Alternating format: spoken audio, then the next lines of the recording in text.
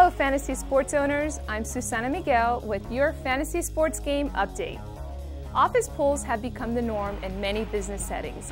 You get a sheet with all the games of that week, select your picks, then you wait and see what happens. Not that exciting, is it?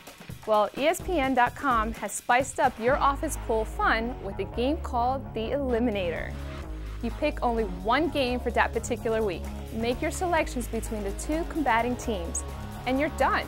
You can preset your selections for the entire season if you like.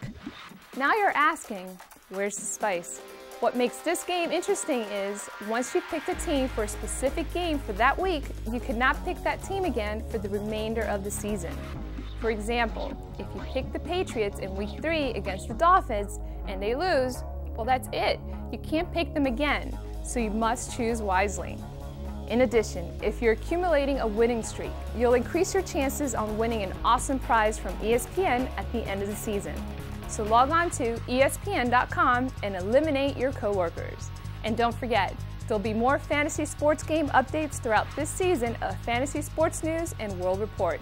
In addition, there'll be exclusive game updates on the show's YouTube channel at youtube.com FSNWRTV72. Look for me and Andrea to update you on all the great games that will make your fantasy come true.